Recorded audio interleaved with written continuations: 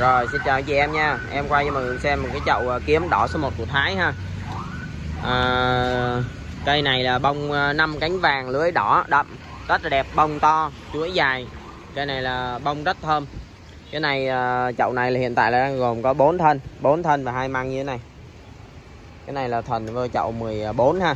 Cái này các anh chị nào mà muốn chơi nó nhỏ gọn như thế này á Thì mình uh, em sẽ ship nguyên chậu rồi uh, anh chị về mình để nguyên như này treo lên chơi thôi. Còn uh, anh chị nào mà muốn uh, về cái củ nó to nắm tay này á và thân lá nó khủng hơn nữa thì uh, về một là cắt cái miệng chậu này đi rồi bỏ nguyên cái cái chậu này vô một cái chậu lớn hơn còn không nữa thì mình nhổ nó luôn nhổ hết uh, bỏ cái chậu này đi.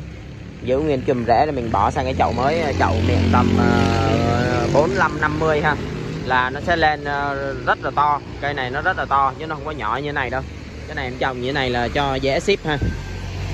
Rồi anh chị nào muốn uh, sưu tầm kiếm đỏ số 1 của Thái thì mình tham khảo ha.